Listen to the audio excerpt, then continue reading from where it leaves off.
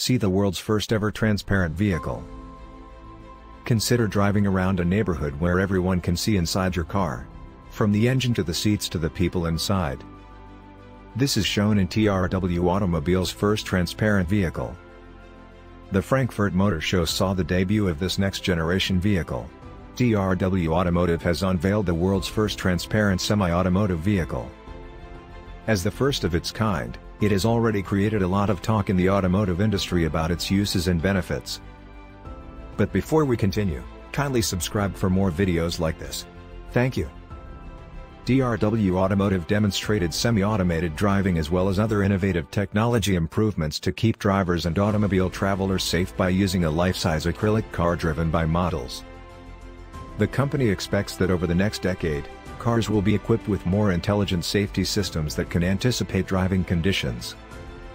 TRW Automotive's main purpose is not what you may believe.